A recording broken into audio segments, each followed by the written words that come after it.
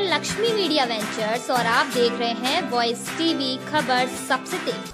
नमस्कार मैं हूँ आपके साथ कोमल गुप्ता वॉइस टीवी पर आपका स्वागत है।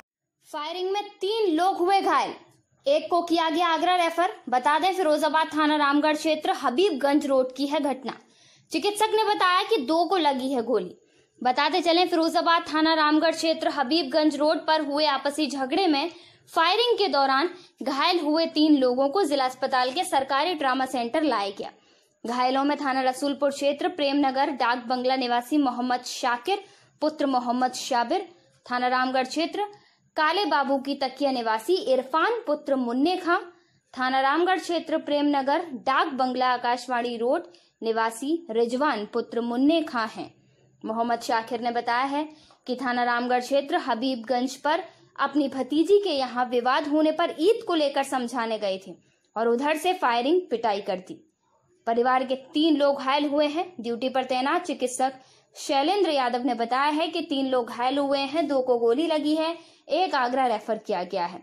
थाना रामगढ़ क्षेत्र हबीबगंज का मामला बताया है। फिरोजाबाद से शेखर यादव की रिपोर्ट।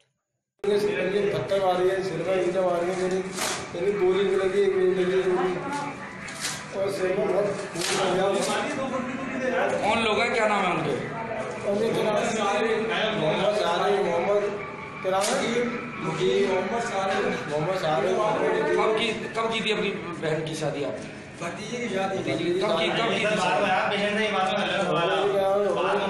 तीन चार बच्चे हैं उसमें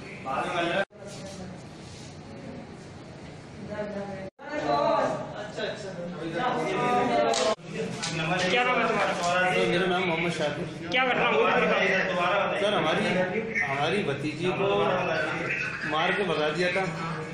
उसकी हालत बहुत ख़राब थी। मैंने उसका ट्रीटमेंट कराया बच्ची का।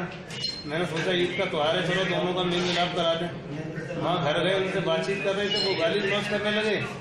हम रोज़े की हालत में सर, गाली गलौज करते करते वो पहले थी तैयारी में थे। शारिक ने, मेरी भतीजी का दूल्हा है, मुकी, उसके बड़े भाई शारिक। शारिक ने मेरे गोली मारी यहाँ तक दो फुट की दूरी तक उसके बाद ईंटों से भी मारते रहे चेहरे पे लाते घुसे कि आपके परिवार के कितने लोग घायल हुए हैं? और हमारे परिवार के सर तीन चार लोगों के लगी हुई मेरे एक भाई के सीने में गोली लगी है उससे छोटा है। एक बड़े भाई के सर के रहने वाले थे? किस जगह की घटना? है? है। ये है रामगढ़ हबीबगंज पार का नगला कितने बजे की लगभग ये घटना है? ये अक्सर ये है लगभग घटना सर साढ़े पाँच बजे। काफ़ी सारे हुए तीन बच्चे हैं छोटे छोटे कब निकाला था उसको घर से बाहर? उसको बारह खराब हो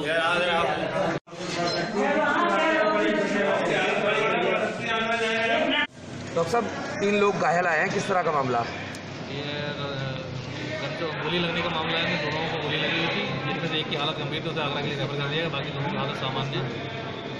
और ये घटना हुई है ये कहाँ से था इसका भूल गया रसूलपुर के रहने वाले हैं तीनों लोग?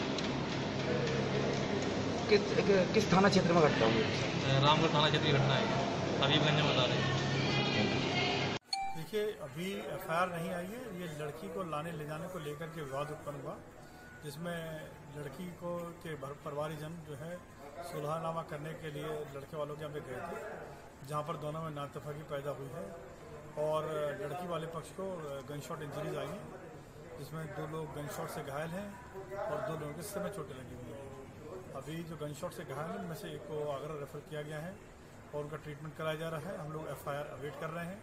एफआईआर आने के साथ ही गिरफ्तारियाँ सुनिश्चित की जाएँगी तथा अग्रिम कार्रवाई